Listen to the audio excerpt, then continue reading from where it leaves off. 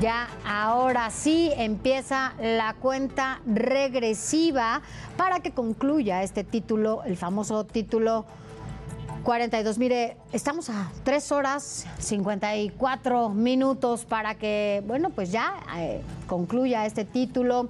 Este jueves ya finalmente concluye el título 42. El gobierno de Estados Unidos va a levantar finalmente la aplicación de esta norma. Ahora, la, ella daba autorización a los oficiales, a la patrulla fronteriza allá en Estados Unidos, de expulsar de manera automática a cualquier migrante que cruzara, pues literalmente la frontera. Lo, lo detenían y tenía la facultad de regresarlo.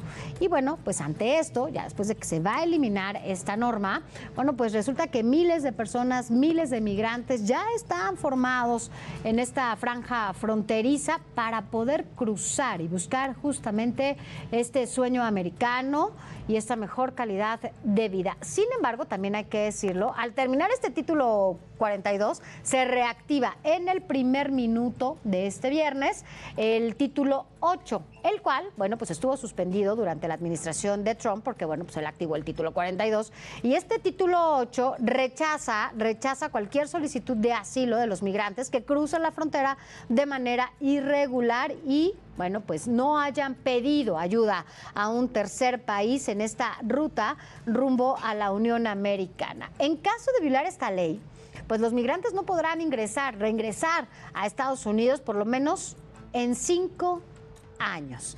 Y bueno, ante esta situación, el canciller Marcelo Ebrard descartó que haya pues, alguna deportación masiva de migrantes hacia nuestro país, hacia México, y aseguró que en todo momento habrá un diálogo con el gobierno de Estados Unidos. Pero mire, vamos a, a platicarle un poco de algunas historias. ¿Cómo es, ¿Cómo es la vida y sobre todo el sueño de un migrante? Veamos.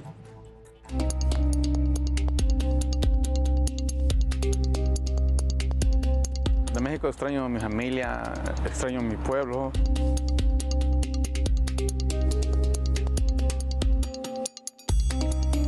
Extraño a mi familia, extraño a mi gente, extraño a mis amigos y este, a ver, aquí se le olvida a uno, ¿eh? Se le olvida a uno la gente de allá porque aquí la vida es puro trabajar. No, no es como que dicen, ah, ya se fue para allá y se lo olvidó a nosotros. No, aquí es de, de 9 a 9, de 10 a 10. El sentimiento de Oscar no es el único.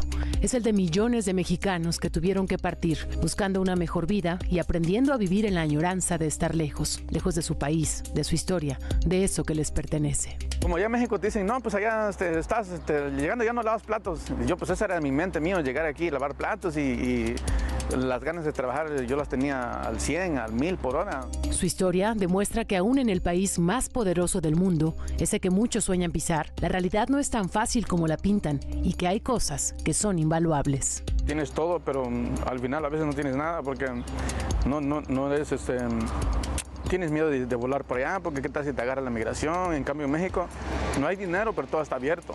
Han pasado 22 años desde que Oscar salió de Tlapa Guerrero hacia los Estados Unidos, enfrentando miedos y obstáculos. Porque usted tiene solamente dos opciones. La cárcel o deportación. ¿Cuánto tiempo va a estar encarcelado? No sabemos. Che. Salimos llorando de ahí. Sin embargo, volver no era una opción. Ya en Nogales nos cruzaron un túnel. Nomás salimos de, del hotel, abrieron un, un, hueco como este, un poquito más y pum, todos para adentro y ya, ¿dónde vamos para acá?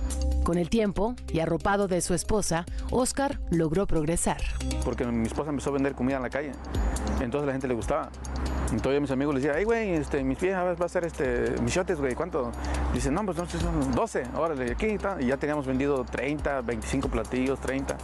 Estoy como Enrique Peñeto, 30, no, menos, menos, 35.